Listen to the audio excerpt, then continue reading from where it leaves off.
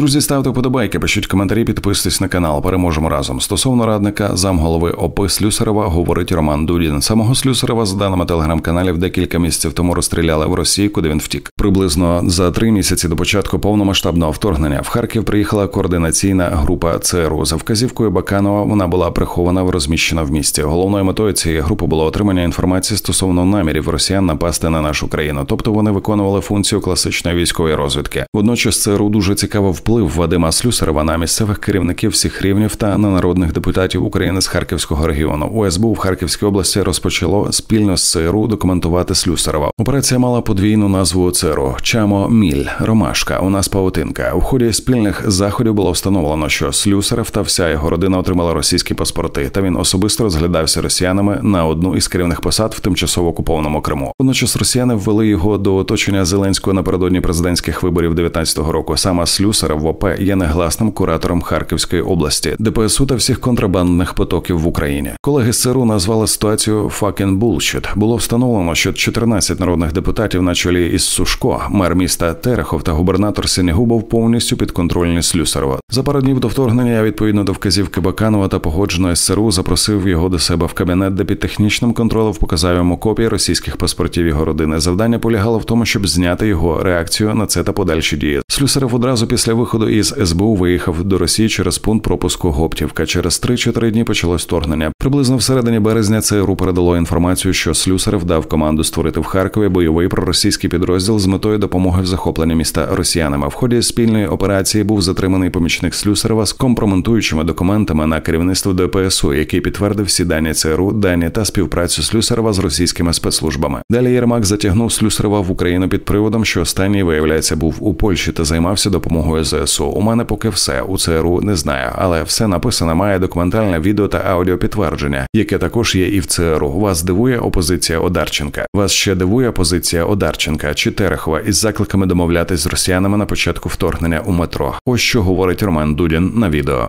Це були е, представники центрального розвідувального управління Сполучених Штатів Америки, перебували е, в мене в Харкові конспіративно, ну фактично до початку вторгнення. Саме вони залишили е, засоби зв'язку, вони залишили певні, ну, певну допомогу. І саме з ними, фактично з перших днів війни, ми підтримували постійний контакт та обмін інформацією. Ну, стосовно цієї операції, так дійсно е, нами спільно було встановлено, що пана Слюсарєва було введено до оточення президента Зеленського приблизно в 2019 році, при тому, що ця людина і вся його родина мають російські паспорти. Це офіційна інформація. І саме е, ця людина е, планувалася на одну з керівних посад в тимчасово окупованому Криму. Разом з тим росіяни прийняли рішення, що краще його завести під президента. І фактично офіс президента, той же Єрмак, вони віддали йому е, весь Харківський регіон, частини Полтавського регіону і весь державний кордон, всі контрабандні і, і, і так далі маршрути. Це ми розробляли спільно, ця інформація був обмін інформації, було документування і по саме по пану Слюсареву напередодні вторгнення з метою ну, е, з санкції е, керівництва американського і українського його я визивав його в кабінети під е, приховану аудіовідеофіксацію, проводив з ним розмову, де предоставляв йому.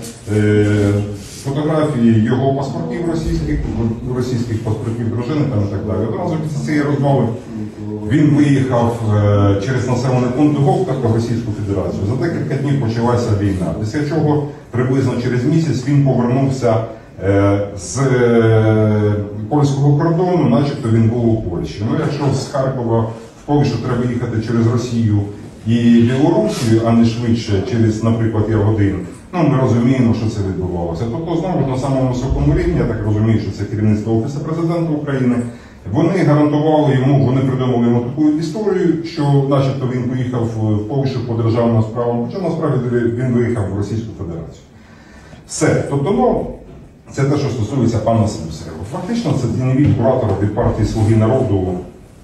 Наші союзники теж про це знають. Звісно, вони знають, ну, у нас є повний обмін, у нас був повний і на і, до речі, зараз є певний канал інформації, де ми обмінюємося інформацією від того, що відбувається по моїй справі, так і по тим роботам, які були не А ще ми чули. До речі, по пану Слюсареву е, копія інформації була передана вже влітку 22-го року було передано до НАБУ. Тобто і по НАБУ є інформація по пану Слюсареву. Тобто по всьому тому, що відбувалося в Харківському регіоні, і про всю діяльність пана Слюсарєва.